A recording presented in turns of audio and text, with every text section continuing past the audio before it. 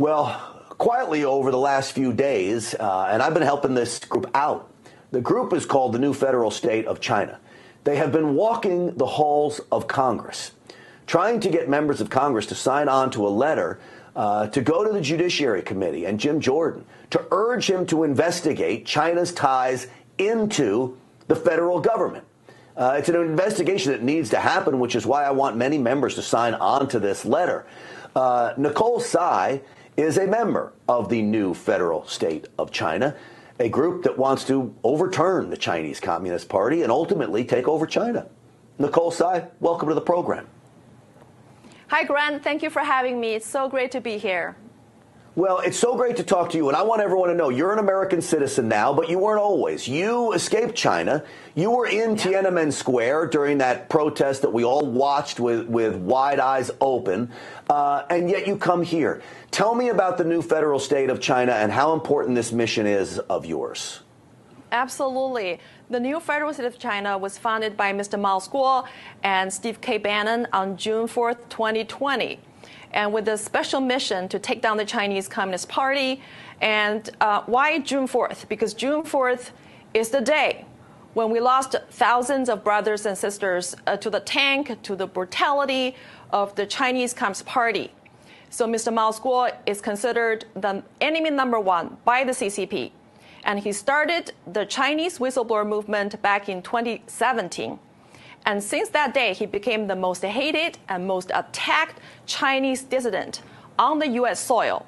The CCP has bought out many American mainstream media uh, to attack him, to slander him, and the social media has been deplatformed, and he still didn't have account on Twitter. And even more, the CCP has hired America's most prominent law firms to go after him because these American law firms have been hired by CCP right. to bring more than 70 lawsuits against Mr. Miles Guo and the Chinese whistleblower movement members. So, uh, Nicole, what it seems to me is they're afraid of what he has to say right? Yeah. Uh, they're afraid of what your group can expose. Now, you've been walking the halls of Congress, going to meet with every member of Congress you can. Mm-hmm. How are those meetings going? Are people inside? These are specifically Republicans. They're more apt to meet with you. I understand that, but I know you're nonpartisan. Uh, how has those meetings been going? Are members of Congress understanding just how how strong and serious of a problem this is? It's strong. It's solid. It's unstoppable. And I'm so encouraged by the outpouring support and enthusiasm expressed by our congressional uh, leaders.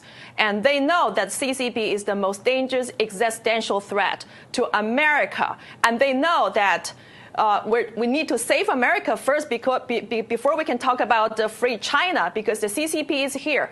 The CCP has succeeded in weaponizing America's federal government agencies, including the Department of Justice, the FBI, the SEC, and they have launched an assault on the U.S. justice system.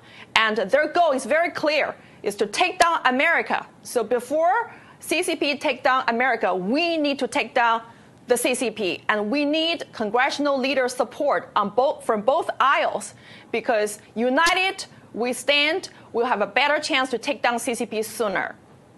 Nicole, um, I I believe that China needs the United States for its economy to run. I mean, look, we have a huge trade deficit with China. China is eating our lunch when it comes to that stuff. We need China as well. Sadly, we need China more than we should need China. We rely on them for a lot of things.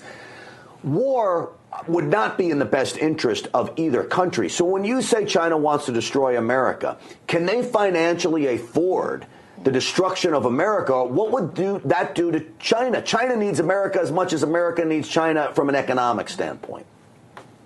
So let me first clarify the difference between China, Chinese people, and the CCP. So Chinese people and China is not represented by the Chinese Communist Party. The CCP has hijacked China and been enslaving the Chinese people for so many years since 1949. So let's be clear the CCP does not represent the Chinese people. And then when we're talking about the economy, that whole global economy is actually the biggest slavery of the 1.4 billion Chinese people. The CCP has stolen American jobs and put them into China and enslave the Chinese cheap labor. and that is the slavery. So that is not economy. That's slavery. And we need to end this slavery by decoupling from the CCP economically, diplomatically, trade, and militarily, everything. We need to cut off the tie with the CCP.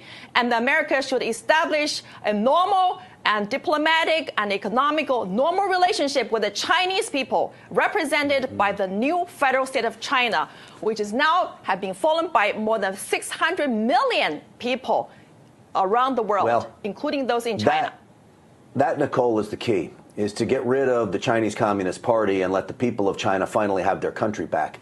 Um, it's so great to have you on this program. How can people help you?